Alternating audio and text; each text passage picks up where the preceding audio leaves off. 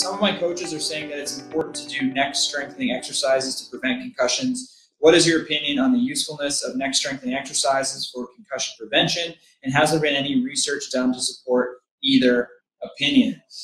So, neck strengthening, the idea behind neck strengthening or having a strong neck is because concussion is due to acceleration or deceleration. So, theoretically, if the neck is stiffer as you get hit, uh, it doesn't cause as much of a whipping motion of the head back and forth, and the brain moving inside of the skull is what causes concussion.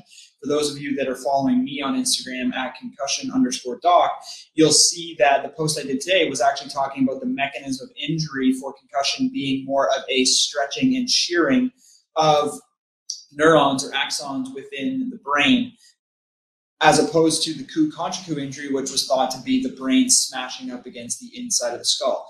Either way, the mechanism of concussion comes from acceleration, deceleration of the brain inside the skull. And the reason that happens is through a whipping motion. So if you get hit in the head and your head whips back and forth uh, to a significant enough degree at a high enough acceleration, those brain cells will start to kind of stretch and shear apart. And so uh, a few years ago, researchers started hypothesizing that if you were to increase the stiffness of the neck, there wouldn't be as much whipping motion of the head back and forth. So if you are a fighter and you're able to hold your neck in a stiff way and a hit to the head happens and you can keep your neck stiff, well, as long as that head doesn't whip back and forth, there should be no acceleration, deceleration of the brain, and therefore no concussion injury. Theoretically, this makes sense. However, you can't just look at it in terms of strength because strength does not equal stiffness. Stiffness is strength, plus you need to have awareness that the hit is coming. So you need to be able to, anticipate that you're going to get hit. Just having a strong neck, I mean, if you don't think that NFL players have strong necks, uh, you are definitely mistaken in that regard. And NFL get, players get concussions all the time. So it's not necessarily the strength of your neck, but it's are you aware that the impact is going to occur?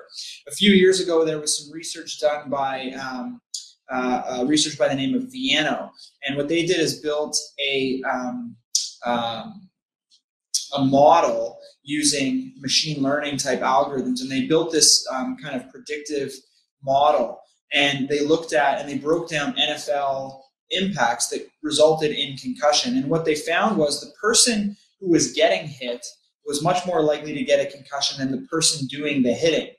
And the theory was that the person doing the hitting is aware that they're going to make contact. And so they stiffen themselves up, they get prepared for the impact.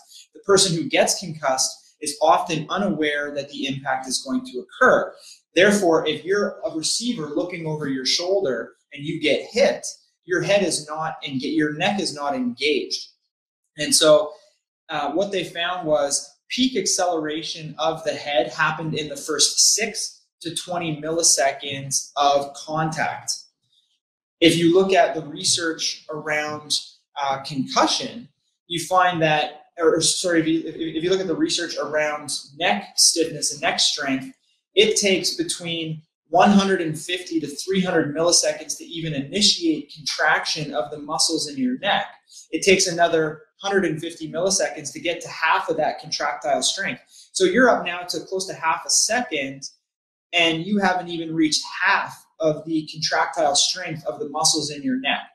So neck strength can be important, but really the variable you're considering here is neck stiffness. You need to have neck strength, but you also need to have game awareness enough that you can contract your neck in time for before that impact occurs. So if you're a fighter and you can keep your neck stiff throughout that fight, I think that's going to serve as a protective mechanism for you. If you're playing a more dynamic sport when you could get hit from all angles and you're not sure when that hit's going to come from, and you have to keep your neck loose to understand where that hit may come from, you're not going to be able to tighten up in time uh, if you're not aware that that hit is going to come. And you need at least probably about a second of um, leeway in order to contract your neck quick enough for the strength of your neck to actually make any type of difference whatsoever. So for those dynamic sports, I tend to preach more of a game awareness um, and kind of a neuromuscular facilitation, being able to you know work on contracting quickly more so than the, the ultimate just strength of your neck. Uh, for fighters, I tend to work on more endurance, being able to keep your neck stiff throughout uh, a bout. I think that is more important. So, um, in terms of exercises, I mean, you can go in any way, but uh, for you as a fighter, uh, I would work on more endurance type exercises, being able to hold your neck stiff for long periods of time, uh, potentially either